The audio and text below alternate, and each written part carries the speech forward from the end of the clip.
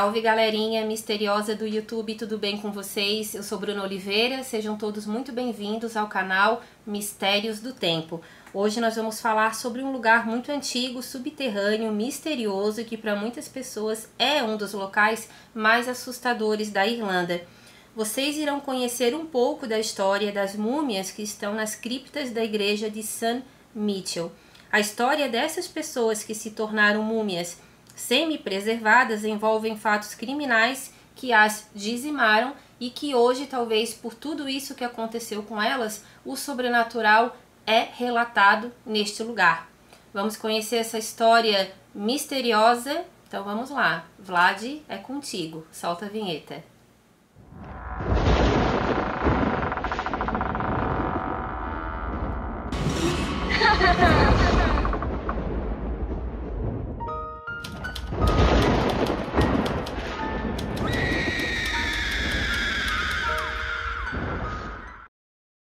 A atual igreja de St. Michan, localizada em Dublin, na Irlanda, teve a sua estrutura original levantada pelos vikings cerca do ano 1095.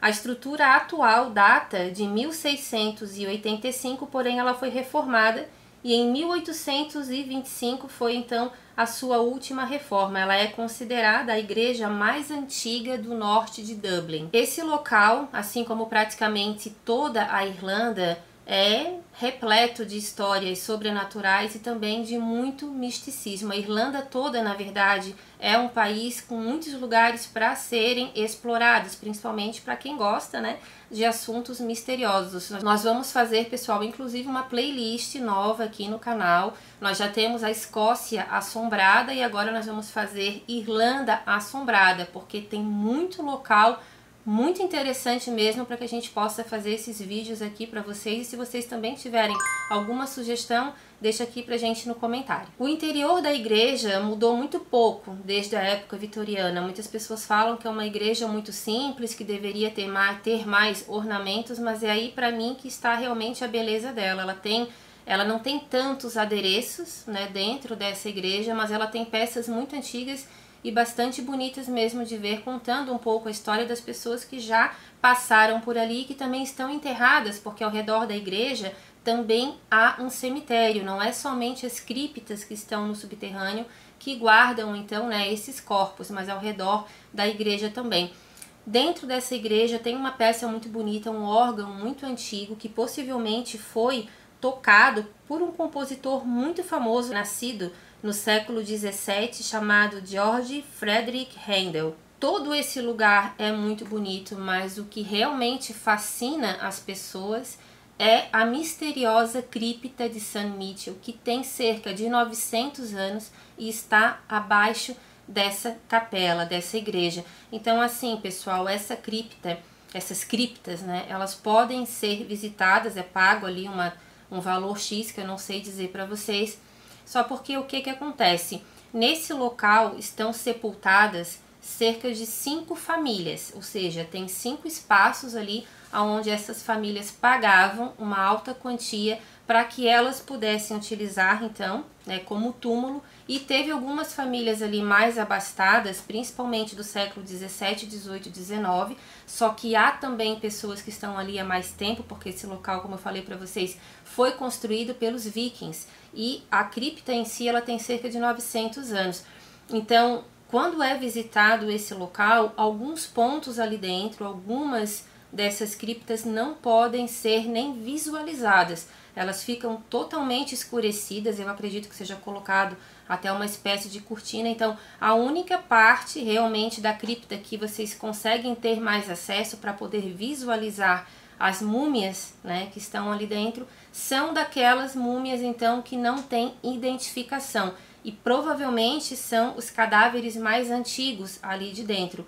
Uma dessas múmias que a gente já vai chegar lá, os pesquisadores colocam, os arqueólogos, né, eles colocam a idade dela aproximadamente né, de 800 anos. Então essas é possível sim visitar e até mesmo tocar. Agora as outras, né, que já são é, propriedade ali particular e que tem ainda algum descendente, algum descendente que toma conta, essas não podem ser visitadas. Para que as pessoas possam visitar essas criptas, tem algumas passagens que ficam por fora da igreja. É uma espécie de um porão realmente ali. Ele tem uma porta lateral que é colocado ali uma corrente, então ali só é entrado depois que paga essa taxa e o guia então faz esse acompanhamento. Para chegar nessas criptas é preciso descer uma estreita e escura escada de pedra. Então, a maioria das pessoas que estão enterradas ali, pelo menos essas que são identificadas, elas datam do século 17, 18 e 19. Algumas das pessoas que foram sepultadas lá são bastante conhecidas, não só na Irlanda, tá, pessoal? Mas também no mundo todo. É o caso dos irmãos John e Henry Cheris, mortos em 1798. Quando toda essa barbárie aconteceu e os irmãos foram mortos, eles eram bastante jovens. O Henry tinha apenas 45 anos e o John John, que era o mais jovem, 32 anos de idade. Resumindo a história deles, tá pessoal? Eu não vou entrar em muitos detalhes históricos, mas eles eram advogados republicanos e também revolucionários irlandeses. Eles tiveram uma sentença extremamente cruel. Inclusive, a cópia dessa sentença está lá na cripta ao lado dos caixões dos dois irmãos. Por que, que eles morreram, né? Enfim, depois de testemunhar eventos revolucionários em Paris no ano de 1793, eles se juntaram a uma sociedade, a Sociedade de Irlandeses Unidos, e eles foram presos na véspera dos levantes em 1798. A acusação que caiu sobre eles foi alta traição. Por quê?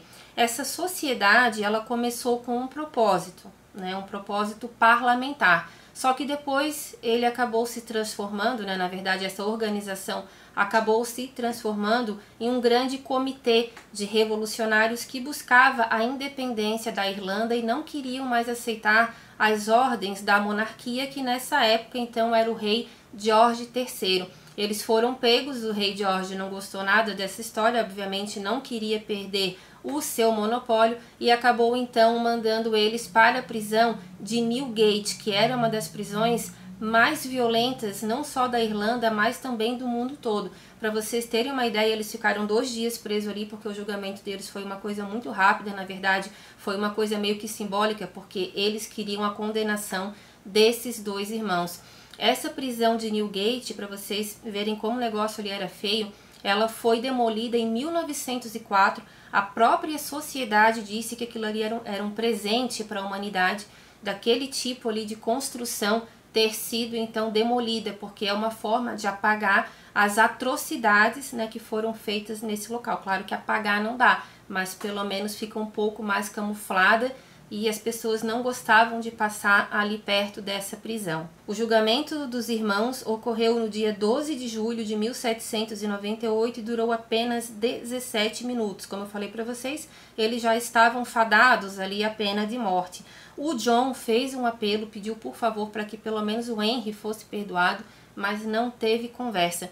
Quando a sentença foi lida, morte por enforcamento, os dois irmãos então levantaram, se abraçaram, choraram bastante, fizeram ali duas cartas que era para ser direcionada para a família. Os dois tinham filhos, um deles tinha seis filhos, para vocês terem uma ideia, né? Ficaram é, extremamente abalados as crianças, a família foi uma coisa muito triste porque eles eram muito bem vistos pela sociedade irlandesa, não eram homens arruaceiros, eles faziam sim as, né, os seus pedidos ali de revolução, mas sempre com muita educação. Nunca fizeram baderna. Então eram pessoas que lutavam por seus ideais, eram religiosos, mas infelizmente foram taxados como autotraidores. Eles foram executados então por enforcamento na manhã do dia 14 de julho de 1798 em frente à prisão de Newgate. Na verdade, a morte dos dois irmãos foi colocado como enforcamento. Assim que foi constatado a morte deles, eles foram decapitados, colocados dentro de uma urna e encaminhados então os corpos para as criptas de St. Michan. Só que tem uma informação a respeito disso tudo que diz que não foi bem assim que aconteceu, que depois né, por causa dos levantes também que foram feitos muito em prol de uma justiça que a própria população queria para os dois irmãos que foram mortos, parece que tudo isso foi um pouco camuflado. Eu não consegui ter acesso ao documento onde fala sobre essa sentença. Só que algumas fontes onde eu pesquisei, de pessoas que já visitaram as criptas e leram essa cópia desse documento, falaram que a história não foi bem assim. Que eles sofreram bastante antes de morrer, para que eles servissem de exemplo, para que outros revolucionários então não tentassem afrontar o rei novamente. Então, nesse documento estaria escrito que eles teriam que ser, sim, enforcados, mas não até a morte, que eles deveriam então apenas desmaiar, serem arrastados por cavalos para um outro local e que daí ali nesse outro local eles teriam sofrido então torturas ainda maiores. Parece que as suas vísceras foram retiradas, queimadas com eles ainda em vida, para depois sim então eles serem decapitados. Isso são informações que pessoas que leram essa cópia da sentença falaram que está escrito nesse papel. E não foi só uma fonte que eu li, teve várias pessoas que visitaram esse local e disseram que ficaram horrorizadas com o que elas leram, que é um pouquinho diferente do que conta a história em outros sites aí de pesquisa que contam um pouco sobre a vida dos dois irmãos. Então fica essa dúvida. Então assim, gente, nessa época, uma afronta desse tamanho para o rei não é uma coisa muito difícil de, né, da gente deduzir que possa ter acontecido. Agora, 100% de certeza eu não tenho, mas eu vou colocar essa informação porque foram várias pessoas que relataram que essa barbárie realmente aconteceu. Se vocês souberem de alguma coisa, deixa aqui para mim também no comentário. Um companheiro de causa dos irmãos Henry e John Shears, chamado Theobald Wolf Tone, hoje mais conhecido como Wolf Tone, ele também teve a mesma condenação. Ele foi condenado por alta traição e morreu no dia 19 de novembro do mesmo ano. Só que assim, gente, a história do Theobald é um pouquinho mais complicada, porque esse homem, ele era um general. Ele foi preso, também encaminhado para a prisão de Newgate, onde dizem que ele sofreu todo tipo de abuso e tortura, porque as pessoas já não gostavam muito dele também por causa da alta patente que ele tinha, muitos invejosos também, porque ele era considerado um homem de família, um homem que lutava por seus ideais, religioso, era considerado uma pessoa maravilhosa, do bem realmente, e ele teve então essa pena. O que que acontece? Ele foi então condenado também por enforcamento, mas ele pediu para que ele fosse morto por fuzilamento, que era uma forma mais honrosa para ele, que tinha prestado tanto tempo de serviço então ao exército. Esse pedido foi negado e dois dias antes dele ser então condenado, dele ser executado, digamos assim, pela forca, ele foi encontrado morto na cela e a causa da morte foi colocada como ele próprio tirou a sua vida. Só que isso foi questionado pelo médico que fez o atendimento dele e também por outras pessoas que acabaram testemunhando meio que pelas escuras, porque todo mundo tinha medo do rei. Foi falado que na verdade ele apanhou muito e que ele teria sido morto por essa surra que ele levou e que um dos soldados então teria atirado, teria errado e esse tiro passou então de raspão digamos assim, um raspão um pouco mais profundo pelo pescoço dele, como ele já tinha apanhado bastante, ele acabou então morrendo. E que ele não se matou, até porque ele não tinha direito de ter nenhuma arma na cela. Então essa história realmente ficou bastante duvidosa. Então ele é considerado um herói, né, um mártir também por muitas pessoas. Então a maioria ali que acompanhou aquela época disse que ele não se matou, que isso foi uma, uma história inventada né, para que, que ele morresse então de uma forma desonrosa, como uma pessoa que então acabou tirando a sua própria vida por medo e que segundo outros outras pessoas ali que estavam na prisão falaram que não foi bem assim que aconteceu. Ele está enterrado em outro local, mas a máscara mortuária dele está na mesma cripta dos irmãos John e Henry. Então está lá os dois caixões do, dos irmãos, a máscara mortuária e também a cópia dessa sentença. Mas não são somente né, os irmãos John e Henry e o Theobald que estão enterrados ali, como eu falei para vocês. Outras famílias também bem conhecidas na nobreza estão sepultadas nesse lugar. É o caso da família dos condes de Litron. Uma dessas figuras se chamava William Sidney Clement, ele era o terceiro conde de Leitrim, que era coronel aposentado do exército britânico. Esse homem, ele era extremamente odiado pelas pessoas que o conheciam e muita gente da família dele também não gostava dele. Ele era considerado uma pessoa muito arrogante, pensava somente no dinheiro. Ele tinha muitos empregados que não gostavam dele mesmo e ele também tinha inquilinos. Como é que funcionava essa questão dos inquilinos para esse conde? Ele comprava terras, ele era proprietário de várias aldeias, então ele deixava que algumas pessoas, né, deixava em forma assim de aluguel, né? eles, a, a, eles locavam essas terras para poder fazer o seu plantio, ele combinava um valor X. Quando essas terras já estavam produzindo bastante plantações, é, frutas, verduras, enfim, quando já estava com uma alta produção, o que, que ele fazia? Ele aumentava o valor do aluguel dessas terras, a maioria das pessoas não tinha como pagar e precisavam abandonar as suas colheitas. Eram pessoas muito pobres que acabavam então sofrendo esse tipo de prejuízo proposital. Muitas meninas que eram filhas também desses inquilinos, eram meninas muito novas ali já entrando na adolescência, elas relatavam, né, entre elas que não gostavam desse conde porque ele olhava para elas de uma forma diferente nada foi provado a respeito desse homem quanto a esses possíveis assédios. Teve um caso, pessoal, que ligou um pouco mais ao que aconteceu com o Conde, eu já vou chegar lá, mas antes disso eu peço que se vocês estiverem gostando do vídeo, deixem aquele like, a sua inscrição, que isso nos ajuda muito.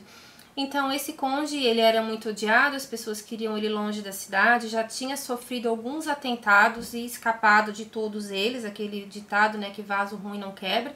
Não que a gente não, né, não vá desejar uma coisa dessas, é uma história antiga. Algumas coisas podem sim ter mudado, mas dizem que esse homem ele escapava assim como um gato de todas as vezes que ele levou um tiro, que alguém tentou alcançar ele para fazer mal para ele, ele sempre conseguia escapar. Só que o que, que acontece? Teve uma moça em especial que teve um destino muito trágico e foi ligado a esse homem. Uma das filhas de um inquilino que ele tinha, que ele tinha arrendado as terras, essa moça ela botou a boca realmente no trombone, não ficou quieta, falou para o pai para a mãe e também para outras pessoas da aldeia que ele teria tentado agarrá-la enquanto ela estava sozinha em casa. Naquela época, esse tipo de acusação era muito difícil de ser provado, ainda mais com um homem que tinha tanto poder. A gente sabe que ainda hoje é um pouco complicado, certas situações envolvendo abusos. Agora imagina naquela época, mas ela não ficou quieta, ela foi, levou essa informação para frente, esse homem ficou muito bravo, a família dele também ficou muito brava. Algumas pessoas duvidaram realmente da honestidade desse homem. O que, aconteceu? Alguns dias depois, essa moça foi encontrada sem vida em um rio próximo da onde ela trabalhava. Então, a princípio, a causa da morte foi afogamento, mas as pessoas não acreditaram e deduziram que ele teria sim mandado fazer mal para essa jovem. Depois disso tudo, então, ele sofreu um novo atentado e dessa vez ele não escapou. No dia 2 de abril de 1878, então, ele foi atacado junto com mais dois funcionários e ele acabou morrendo aos 71 anos de idade. Foi emboscado por três homens que dispararam cerca de 10 a 11 tiros, mas o que realmente matou esse homem não foram os tiros, e sim uma coronhada que ele levou na cabeça. Né? Esses homens acabaram fugindo, não se sabe ao certo quem foi que mandou matar esse homem, porque quando ele morreu foi uma grande festa né, para aquelas pessoas que não gostavam dele. Acredita-se que esses três homens então tenham cometido esse assassinato, mas eles nunca foram condenados. Um único suspeito chamado Michael Harris passou algum tempo na prisão pelo crime, mas logo depois também ele acabou morrendo de tifo na prisão. O conde então, né, foi feito todo ali o cortejo para que o corpo dele fosse colocado nas criptas de San Mitchell, mas o que que aconteceu? Dizem que foi um dos maiores vexames que alguém com título realmente recebeu, porque uma multidão atacou literalmente, né, literalmente esse cortejo, queriam porque queriam fazer justiça com as próprias mãos, tentaram abrir o caixão para pegar o corpo dele e jogar no rio aonde o corpo dessa outra jovem tinha sido encontrado.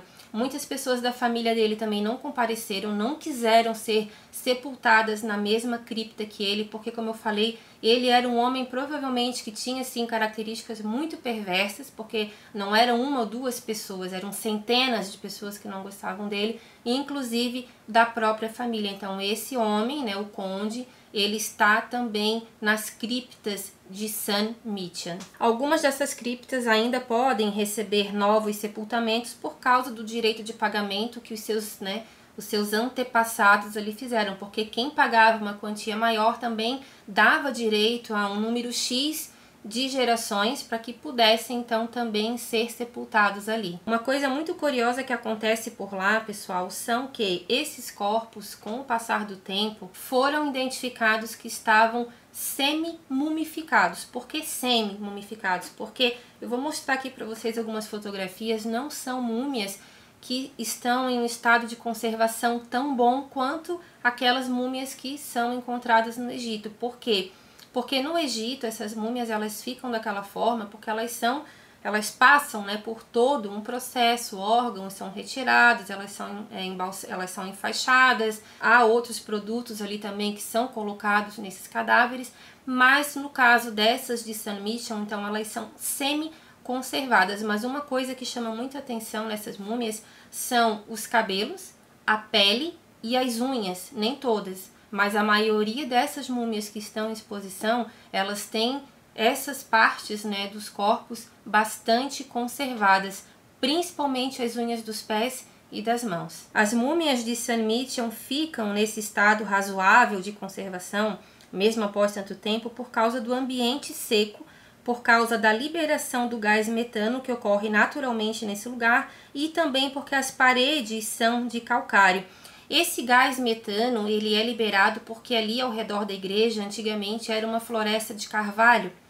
Hoje ainda existem algumas árvores daquela época, não tantas, mas esse gás ainda é liberado no subterrâneo e segundo ali os pesquisadores é por isso que essa conservação natural acontece ali dentro. Dentro dessas criptas, esses caixões eles eram colocados uns em cima dos outros, o que não foi uma boa ideia. Por quê?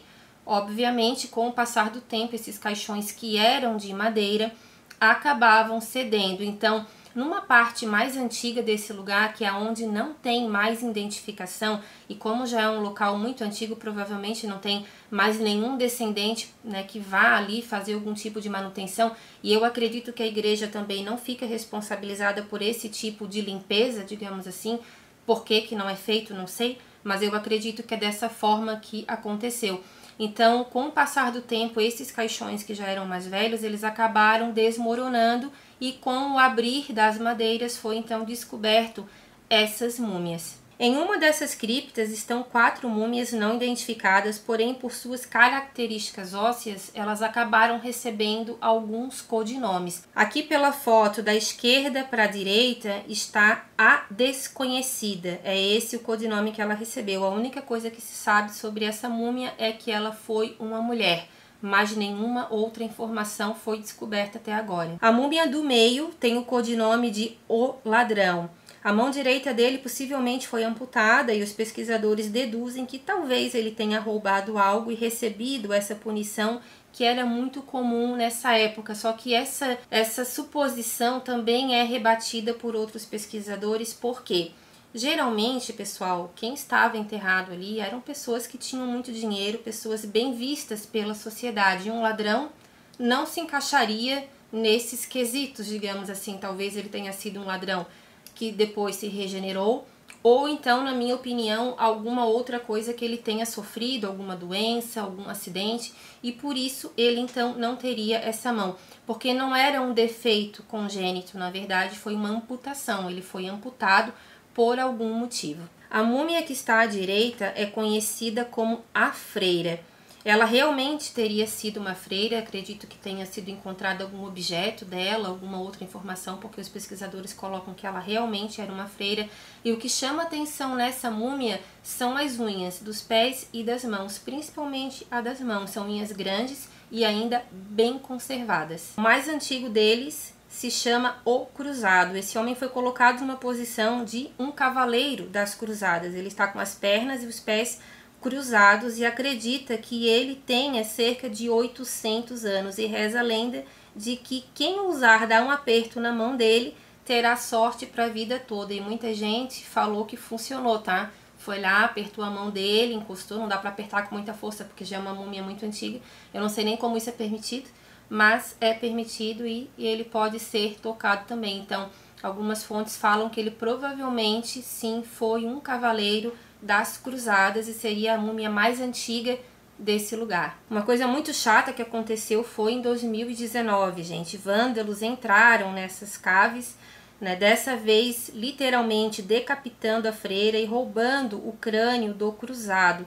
O arcebispo de Dublin, na época, divulgou uma declaração no site da igreja pedindo, por favor, para que esses ossos fossem devolvidos, porque era uma coisa histórica, né?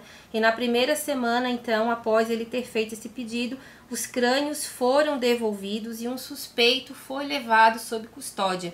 Quem ele era não consegui descobrir e também se ele acabou confessando, se ele ficou preso, também não consegui ter essa informação. Se vocês souberem, deixem aqui pra gente nos comentários. Uma outra curiosidade também sobre esse lugar é a visita de nada mais, né, ninguém menos, ninguém mais do que Bram Stoker.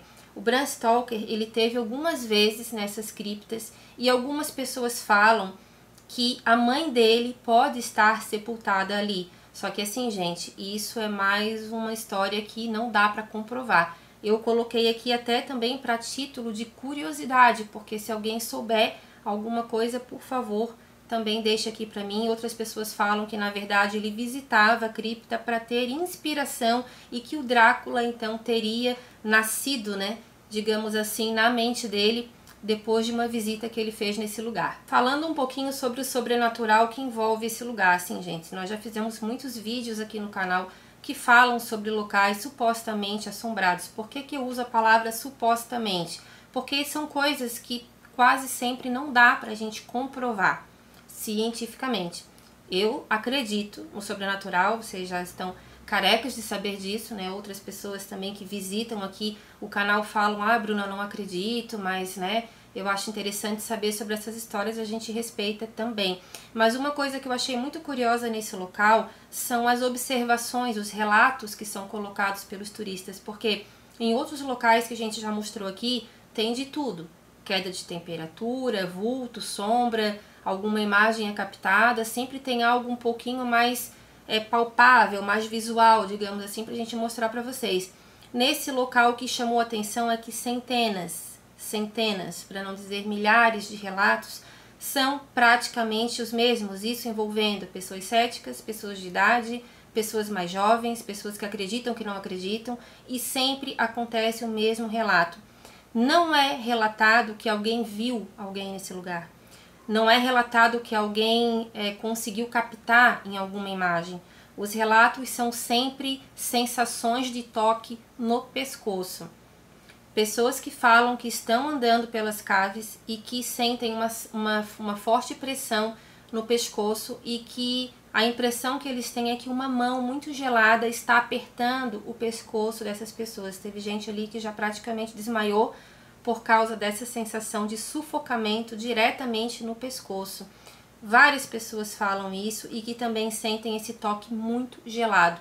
Uma outra coisa que também costuma ser apontada ali são os cochichos. As pessoas escutam cochichos dentro dessas caves e que elas param para tentar entender o que, que está acontecendo e quando elas param, a sensação que elas têm é que alguém está aproximando, como se uma multidão estivesse ao redor dessas pessoas, que elas conseguem sentir a respiração de pessoas muito próximas, mas elas não conseguem ver. Esses sussurros que são escutados ali dentro vêm principalmente de uma parte que não é autorizada a visitação e que é uma das mais antigas dessas criptas. E assim, gente, isso não acontece só na parte subterrânea, na parte da igreja também pessoas que vão lá para rezar, que não acreditam no sobrenatural, dizem que realmente sentem uma energia muito estranha, que eles acabam olhando sempre para trás, para trás porque eles acham que alguém está rezando no fundo da igreja e não tem ninguém. Então são relatos um pouquinho mais é, diferenciados, voltados mais para a parte ali realmente da, da percepção né, de sentir a presença e não de ver essa presença. Então, assim, é um local muito antigo, muita coisa já aconteceu por ali. Nessas criptas, que talvez nem sempre foram criptas, foram locais que talvez foram usados para as mais variadas é, coisas que a gente sabe que acontecia. Era uma época muito antiga onde desafiar né, pessoas poderosas era assim: você pagava um preço, muitas vezes a lei não via ou fingia que não via e tudo era resolvido de um jeito muito brutal. Então, essas pessoas que estão enterradas ali também tiveram um histórico de vida envolvendo muita violência. Algumas foram vítimas e algumas foram os algozes. Então, assim, gente, é um local que tem muitos mistérios. E se alguém souber de mais alguma história, por favor, deixa aqui pra gente, tá bom? Um beijo grande, espero que vocês tenham gostado do vídeo de hoje e até a próxima história. Tchau, tchau!